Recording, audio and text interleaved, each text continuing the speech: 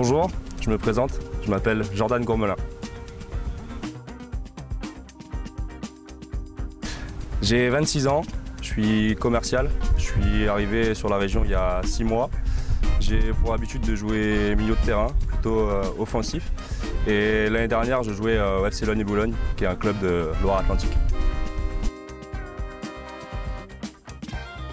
Simplement parce qu'en arrivant il y a 6 mois, j'ai regardé un petit peu sur les réseaux les, clubs aux alentours. Et j'ai vu que le Sporting était un club euh, qui bougeait pas mal, il y avait pas mal de, com un club qui ressemblait un petit peu à celui que je quittais. Donc euh, je me suis permis d'envoyer un message au coach pour pouvoir faire quelques séances fin de saison dernière. Et le groupe m'a tout de suite plu, j'ai vu que voilà, c'était vraiment en bonne ambiance. En même temps, il y avait pas mal de compétiteurs, donc c'est ce qui me plaisait aussi. Et du coup, je me suis dit, euh, pourquoi pas.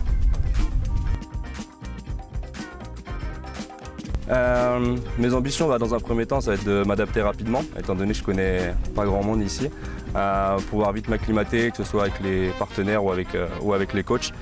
Et après, euh, faire ma place et puis aller le plus haut possible.